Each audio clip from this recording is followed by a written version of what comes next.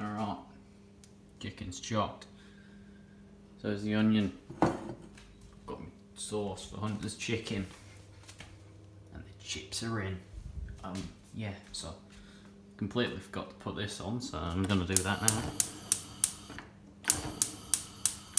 Boom, second try. Get a bit hot and then we can chuck chicken in. As soon as that starts to turn white, chuck that in.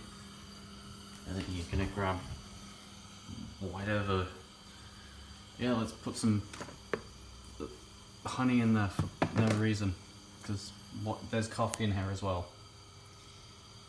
And baking powder. But E